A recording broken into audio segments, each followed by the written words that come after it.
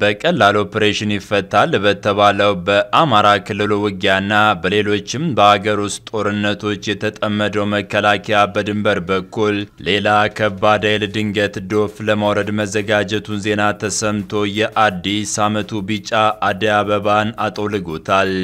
በመንግስት በኩል በይፋ እስካሁን ባይነገርም ጎንደር ላይ በነበረው የፋኖና የመንግስት ኃይሎች ውጊያ የተነሳ ከድንበር የተንቀሳቀሰውን ጦር ያየው ይኸው የውጭ ጠላት ኃይል አሜሪካን በፌዴራል መንግስቱ ላይ ጥርሷን ማንቀራጨጯን ጠብቆ ጥቃት ሊፈጽም መሆኑ ነው ዘገባው ያመላከተው። የፌዴራል መንግስቱና የጦር ኃይል አዛዦች ግን አሁንም ቢሆን ትኩረታቸውን በውስጥ ጦርነቶች ላይ አድርገዋል። እረ ኢትዮጵያ ድንበሯ የሰንበሌጥ የሆነ ነው። ሰሚ ጠፋ የሚሉ እናት ፓርቲን የመሳሰሉት አሁንም ቢሆን ከ2015 ወደ 2016 በጦርነት ተከባ የመጣችው ኢትዮጵያን እንታደጋት እያሉ ነው። አሁን አንዴ የአፍ ወለምታ ሆኖ አይደለም ትጥቁን ቀበቶ እናስፈቷለን የተባለው ጽንፈኛ የሚል ታርጋም የታተመለት የፋኖ ኃይል የከፈተው ጦርነት መንግስት አንዱን ቀዳዳ ሲደፍን ዘጠኝ አዳዲስ ሽንቁሮችን እየከፈተበትም ውሃን በወንፊት መሙላት ሆኗል ነገሩ። ይህን ተከትሎም የፉክክር ቤት ሳይዘጋ ያድራል እንዲሉት ኢትዮጵያ በውስጥ ጦርነት ተጠምዳ በድንበር በኩል ምን መጣ የሚለውን ትሰሙታላችሁ። በሌላ በኩል አሁንም በጥይት ድምፅ ውስጥ ሆኖ አዲስ ዓመትን የተቀበለው የአማራ ክልል ለማስተዳደር ወደ ባህር ዳር መናገሻ ከገቡ ቀናት ያስቆጠሩት አቶ አረጋ ከበደ ከአንድ የአራት ኪሎ ባህር ዳር መቀሌና ጨፌው ሚስጥር አዋቂ ቁልፍ ሰው በኩል አሁን ብሶት የወለደው አማራን የመጣው እውነተኛውን መድኃኒት እንጂ ማስታገሻ አይመክተውም የምትል ቦምብ የሆነች ነገር ተነስቷል። አቶ አረጋም እንደገና ድፎ ከላይም ከታች በእሳት ተለበለቡ እያስባለ ጥያቄን ያስነሳው ከሰሜን በጎጃም እስከ ሰሜን ሸዋ አዲስ አበባ ጫፍ ውጊያ ከደራበት አማራ ክልል ውስጥ ታዋቂ በኩል አደባባይ በወጣው መረጃ አደባባይ በወጣው መረጃ ከሆነ የአማራ ፖለቲካ በከባድ ሁኔታ እንዳይፈታ ሆኖ ተወሳስቧል ይለናል። ይህ የሆነበት ምክንያት ደግሞ ምናልባትም አማራ ራሱን እንደ አማራ define ሳያደርግ ከ85 ዓመታት በፊት የተጀመረው ስሁት ፖለቲካዊ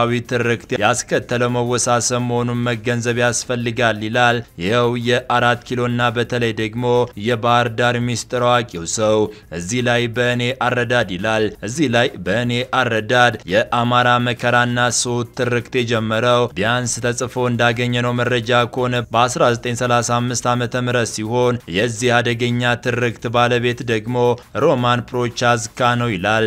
አዎ በእኔ አረዳድ የአማራ መከራ ግልጽ በሆነ መልኩ የተጀመረው የዘረኛ ጠበቃው ሮማን ፕራቻስኮ ኢትዮጵያ የባሩድ በርሜል የተሰኘ መጽሐፉን በጀርመንኛ ተጽፎ በኦስትሪያ በአመቱ መጨረሻ ላይ ደግሞ በለንደን ከተማ በቢቢሲ በአማርኛ ቋንቋ ታትሞ ለዓለም አቀፉ ማህበረሰብ መተዋወቅ ከጀመረበት ጊዜ ጀምሮ ነው ይላል። ይህንንም መጽሐፍ ያነበቡ ሁሉ የአማራ ችግር መች እንደተጀመረ፣ ለምን እንደተጀመረ፣ አጀንዳውን እነማን እንደገዙት፣ ለምን ዓላማም እንደገዙት፣ ዛሬ ላይ በተለይም የዓለም አቀፉ ማህበረሰብ በአማራ ላይ እየደረሰ ላለው ችግር ለምን ደንታ እንደማይሰጠው በቀላሉ መገንዘብ ይችላል ብዬ አምናለሁ ብሏል። ነገር ግን ጦርነቱ ከፈነዳ በኋላ ዓለም አቀፉ ማህበረሰብ በተለይ ደግሞ አሜሪካ አማራው ላይ አይኗን ጥላለች ነው የሚለው። ምክንያቱም ደግሞ ለአሜሪካ ጥሩ መንገድ የከፈተላት ብሪክስ የሚባለው ሆኗል።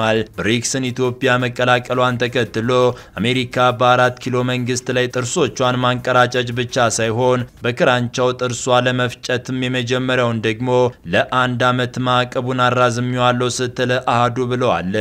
አሁን ላይ ግን በአማራ ህዝብ በኩል ታግሶ ታግሶ የፈነዳው እሳት እንዲያው በቀላሉ በማስታገሻ የሚታለፍ ሳይሆን ፍቱን መድኃኒት ይፈልጋል ይለናል። የአማራ ህዝብ ችግር ይህንን ያክል ጥልቅና ረዘም ያሉ ዓመታትን ያስቆጠረ መሆኑን መገንዘብ አስፈላጊን የሚለው ይኸው መረጃው ገራሚው ነገር አማራ ዘርፈ ብዙ ፈተናዎች ለረዥም ዓመታት ተቋቁሞ ዛሬም በቦታው ላይ መገኘቱን ይላል። የዚህ ሚስጥሩ ምን ይሆን? ምናልባት የኢትዮጵያ አምላክ ጽናቱን ሰጥቶት ይሆን ሲልም በመጠየቅም መልሱን ራሱ ይሰጠዋል። እዚህ ላይ ታዲያ የኢትዮጵያ ፌዴራል መንግስቱም ሆነ የክልሉ በተለይ ደግሞ በቀድሞ አጠራሩ የብአዴን አመራሮች ያልተረዱት ነገር ቢኖር ኤርትራ በአማራው ላይ ያላትን አቋም ነው። ኤርትራ አሁን ላይ ከአማራው ጋር በአንድ አስተሳስሯታል የሚባለው ደግሞ የወልቃይት ጉዳይ ሆኗል። ወልቃይት ወሳኝ ኮሪደር ነው ይለናል። ወልቃይት ላይ ማን የሚሰፍረው? ምን አይነት ኃይል ነው? ለኤርትራ ምን አይነት አቋም አለ የሚለው ደግሞ ፕሬዝዳንት ኢሳያስ አፈወርቂን እንቅልፍ የሚነሳቸው ጉዳይ ነውና በሁመራ በኩል ጦራቸውን በጠንቀቅ ማቆማቸው ለዚሁ ነው ይለናል መረጃው። ይህም ሆኖ አሁን ባለንበት ዘመን ላይ የፖለቲካችን መወሳሰብ በግልጽ መከሰት የጀመረው ከ1983 ዓመተ ምህረት ወዲህ ሲሆን እጅጉን የተወሳሰበብን ደግሞ ከሰኔ 15 ክስተት በኋላ ነው ብዬ አምናለሁ ይላል። በእኔ ግምገማ ይህንን ለረጅም ዓመታት የተከማቸ ስር የሰደደ የተወሳሰበ መያዣና መገነዣ የጠፋ ፖለቲካችን ለማቅናት ጊዜ መጠየቁ አይቀርም። ምክንያቱም በተለይ ደግሞ ሰኔ 15ን ተከትሎ ብዙ ነገሮች ተወሳስበዋል ይላሉ። ጀነራል አሳምነው ጽጌ የተገደሉበትንም ቀን ያስታውሳሉ። እኛ እኮ ከአራት ዓመት በኋላ ገዳይን በጋራ አውግዘን ለሟቾች ደግሞ በጋራ ሀዘናችንን መግለጽ ተስኖን እየታየን ያለን ፍጥሮች ሆነናል። ይህን ችግር ለማጥበብ ቅራኔውን ለማሻር በድፍረት የሚሰራ አመራር ስለመኖሩ እጠራጠራለሁ ይላሉ። አሁን ላይ ዶክተር ሊቃል ከፍ ያለን ተክተው የመጡትም አዲሱ ርዕሰ መስተዳደርም ቢሆኑ አሁን በተለይ ደግሞ በቅርቡ እየሰሩት ያለው ነገር በጥልቅ ሲገመገም ነገሩን ለጊዜው ለማለዘብ ካልሆነ በቀር ፍቱን መድኃኒት አልያዘም ይላሉ። ምክንያቱም ደግሞ እውነተኛውን ጥያቄ የፌዴራሉ መንግስት ያውቀዋል። የፌዴራሉ መንግስትም ሆነ የአማራ ክልል አስተዳደር አመራሮች ያውቁታል ነውና ጥያቄው። ይህ ደግሞ በአስር ሚሊዮኖች የሚቆጠሩ የአማራ ተወላጆች ከክልሉ ውጭ ከመኖራቸው እውነታ ጋር ስናያይዘው በአገራዊ መድረኩ የተሰሚነት ማጣቱ ህዝቡን የመበተንና እንዲጠፋ የማድረግ ተጋላጭነት ያከፈዋል ነው። በኢትዮጵያ አሁን ላይ በተለያዩ አካባቢዎች ላይ የሚኖሩ አማራዎችስ እጣ ፈንታቸው ምንድን ነው? ባለፉት አራት ዓመታት ለደረሰባቸው ግፍና ሰቆቃ ይቅርታ ሲገባቸው እንደምን የጥይት ሩምታና ባሩድ ይታጠናሉ ነው ጥያቄው። የአማራ ህዝብ በተለይም ወጣቱ እንዲሁም አመራሩ በደንብ ማጤን ያለበት ነገር አለ ይላሉ። ይኸውም ዶክተር አምባቸው ምግባሩ ይዘዝና ብርጋዴር ጀነራል አሳምነው ጽጌ ህይወታቸው ያለፈው በአማራ ህዝብ አጀንዳና ጥቅም ላይ ልዩነት ስለነበራቸው አልነበረም። ልዩነታቸው የነበረው በአማራ ህዝብ ላይ እየደረሰ ያለውን ተራዛሚ በደል መችና እንዴት እናስቁሞ በሚለው ነጥብ ላይ ብቻ ነበር ይላሉ። አሁንም ቢሆን በአማራ ክልል ላይ እየተደረገ ያለውና እየሆነ ያለው የፌዴራል መንግስቱም ቢሆን አቶ ግርማ የሺጥላ ካረፉ በኋላ በቀጥታ ሲገባ የነበሩት መግለጫዎችና አሁን ላይ መግለጫዎቹ እየለዘቡ ነው። ያ ብቻ አይደለም፣ ወደ ድርድር ማቅናት እንደሚያስፈልግም ነው በተደጋጋሚ በመንግስት በኩል በተለይ ደግሞ በጦር ኃይሎች ጠቅላይ ኤታማዦር ሹሙ በኩል በተደጋጋሚ እየተነገረ ያለው። አሁን በተለይ ደግሞ አሜሪካ በዚህ ጉዳይ ላይ በቀጥታ መግባቷን ተከትሎ የፌዴራል መንግስቱ ከባድ አጣብቂኝ ውስጥ እንዳለ ነው።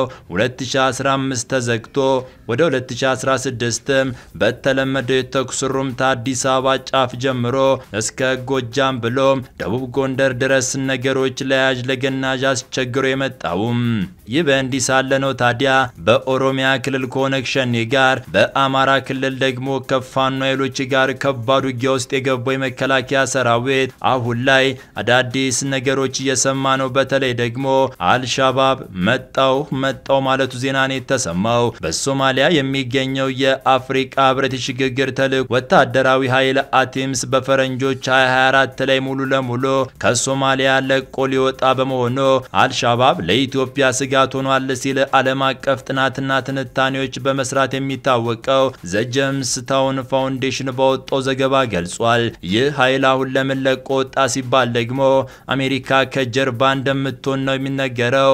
አሜሪካ የፌዴራል መንግስቱ ላይ ጥርሷን አንቀራጫለች የሚባለውም ለዚሁ ነው። አሁን አሜሪካ በዶላሯ የምትዘውረውን ኃይል ለቀ ወጣ ብለዋለች። አሁን ደግሞ አልሻባብ መጣው መጣው እያለ ነው። ይህ በእንዲህ ሳለ ነው ታዲያ በአዲስ ዓመቱ ዋዜማ ላይ ደግሞ ቢቢሲ አማርኛ ባወጣው ዘገባ ከሆነ የኢትዮጵያ መከላከያ ሰራዊት የዛሬ ዓመት ላይ ገደልኩት ያለው የአልሻባቡ መሪ በጭራሽ አልሞተም፣ በህይወት አለ የሚል ዜናም የተሰማው። ይህም የሽብር ቡድን ከሶማሊያ ጋር ረጅም ድንበር የምትዋሰነው ኢትዮጵያን በመጪዎቹ ዓመታት ረጅም የሆነ ግጭት ውስጥ ሊያስገባት እንደሚችል ነው የጠቆመው። የኢትዮጵያ መንግስት ግን ይህንን ለመታደግ በሚል የውስጥ ጦርነቶችን ለምንድን የማያቆሙ የሚል ከባድ ጥያቄ ተነስቶበታል። ከዚህ ቀደም በጎንደሩ የፋኖና የመንግስት ኃይሎች ውጊያ ላይ ከሱዳኑ ድንበር ጦር ተንቀሳቅሶ እንደነበርና የሳምሪ ኃይልም ሰርጎ ለመግባት መሞከሩን ደግሞ አዲስ ማለዳ መዘገቧ ይታወሳል። አሁን ላይ ታዲያ የውስጡ ሰላም ሳይመጣ አዲስ ዓመት መጥቷል።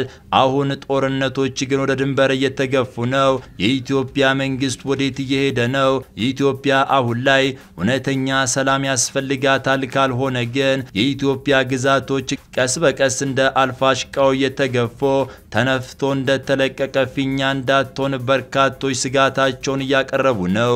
አንድ አፍታዎች ነን። ሰላማችሁ ይብዛ። ሀገራችን ኢትዮጵያን ክፎች ስራ ይሰውርልን። በደህና ቆዩን። ጤና ይስጥልኝ።